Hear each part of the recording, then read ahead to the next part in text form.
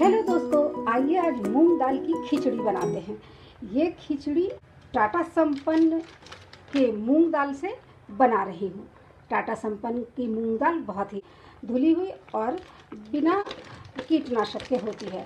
तो ये दाल बहुत ही हेल्दी होती है और इस खिचड़ी को बनाने के लिए मैंने संजीव कपूर के इंस्ट्रक्शन को फॉलो किया है। तो चलिए देखते हैं ये खिचड़ी कैसी बनती है, इसका टेस्ट कैसा होता है और दिखने में ये कैसा लगता है। खिचड़ी बनाने के लिए हमने सबसे पहले एक कप बासमती चावल और एक तिहाई कप मूंग की दाल को धोकर दो घंटा पहले भिगो दिया है। कप हमने डेली चाय पीने वाली यूज़ किया है, ये लगभग डेढ़ सौ एमएल वाली कप है। तो इसी से दोनों चीज़ों को नाप लेना है। मैंने दाल और चावल को दो घंटे पानी में सोख करने के बाद अब इसे छान लिया है तो चलिए खिचड़ी बनाना शुरू करते हैं। पहले से गर्म हो रही एक कढ़ाई में एक टेबल स्पून घी डालना है। आप इसे कुकिंग ऑयल से या बटर से भी बना सकते हैं, मगर मैं इसे आज घी से बना रही हूँ।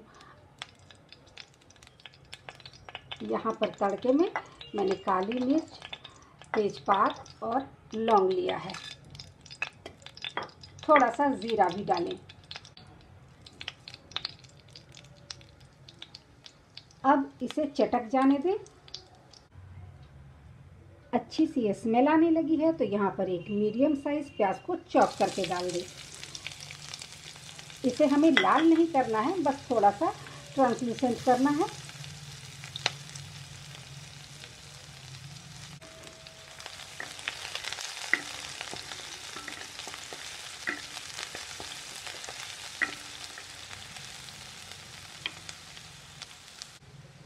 अब प्याज थोड़ा सा पक चुका है तो हमें यहाँ पर छना हुआ दाल और चावल डाल देना है। इसे दो मिनट तक हम भून लेंगे।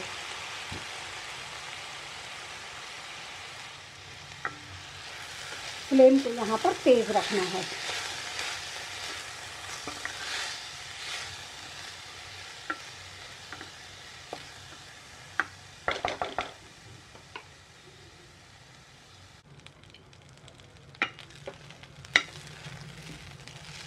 अच्छी तरह से चावल भुना जा चुका है तो अब यहाँ पर हम इसमें पानी डालेंगे।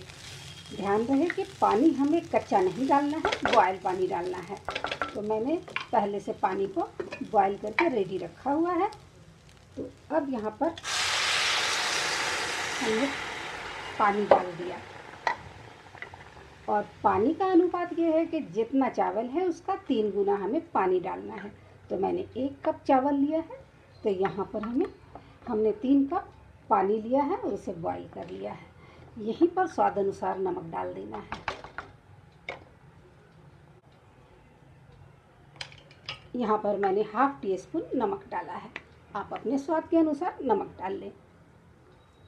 अब जैसे ही इसमें बॉयल आ जाएगा, हम फ्लेम को धीमा कर देंगे और ढक कर तब तक पकाएँगे, जब तक पानी चावल बराबर ना हो जाए।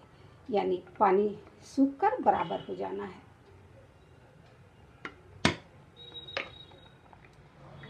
तो अब वक्त है फाइनल रिज़ल्ट को चेक करने की। आप देख सकते हैं, बहुत ही अच्छी तरह से ये चावल पक चुका है।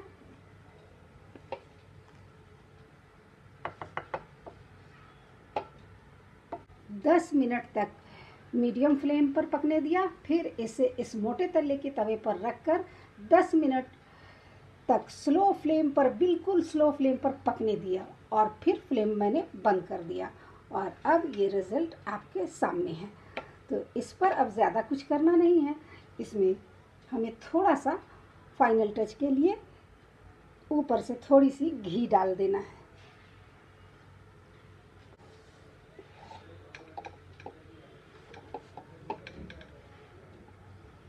आप देख सकते हैं, इसका दाना दाना बिल्कुल खिला हुआ है और कितनी अच्छी तरह से ये गल चुका है। अब आप इसे अपने मनपसंद चीज़ों के साथ सर्व करें।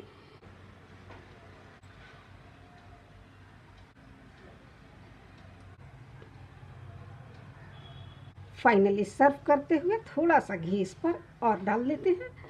इस पे थोड़ा सा धनिया की पत्ती डाल दें। और देखिए कितनी अच्छी टाटा संपन्न की खिचड़ी बनकर तैयार है, इसे आप भी ट्राई कर सकते हैं। उम्मीद है ये रेसिपी आपको मायूस नहीं करेगा और बहुत आसानी से बन जाएगा। तो दोस्तों, इसे बनाएँ, खाएँ और खिलाएँ। तो फिर अपने कमेंट सेक्शन में लिखें कि ये खिचड़ी आपको कैसी लगी। और इसे मैं आज सर्व करने वाली हूँ टमाटर की चटनी और धनिया की पत्ती के चटनी के साथ। और ये दोनों चटनी हमारे वीडियो चटनी की वीडियो हमारे चैनल पर मौजूद है। आप चाहें तो इसे देख सकते हैं। मैं आई बटन में इसका लिंक प्रोवाइड कर दूँगी। तो आप बनाएँ, खाएँ और खिलाएँ। और अगर पसंद आए तो हमें लाइक, सब्सक्राइब और शेयर करना ना भूलें। Thank you for watching my video. Bye